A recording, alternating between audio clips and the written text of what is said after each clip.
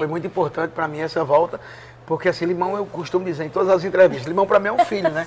nós éramos uma banda de baile e quando chegou o forró, nós mudamos para o, o, forró é, eletrônico, que era o nome que levava na época.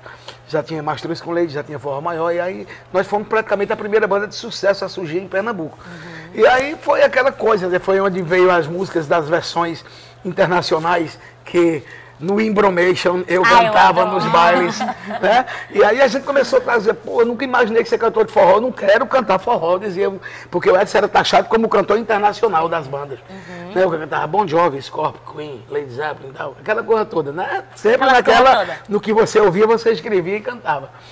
E aí, quando chegou na fase da Limão, aí foi onde eu fui lá nos, nas rádios AM, pegava aquele LP, aquela versão. É, longe de você. E aí começou a surgir, né? Aí, longe de você. E aí começou a surgir as versões, né? Eu acho que o irmão é uma das responsáveis por, por, por essas versões.